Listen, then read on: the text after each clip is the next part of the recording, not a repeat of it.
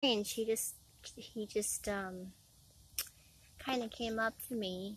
Um, I was taking a photo, and he just sort sort of um, came up to me, and he's just looking at me. You know, he didn't run from me. He actually came towards me. Oh, there's another one. That might be what it is. Maybe he's horny. These are so cool. I'm not sure what they are. They're some kind of tree frogs. Bye, buddy.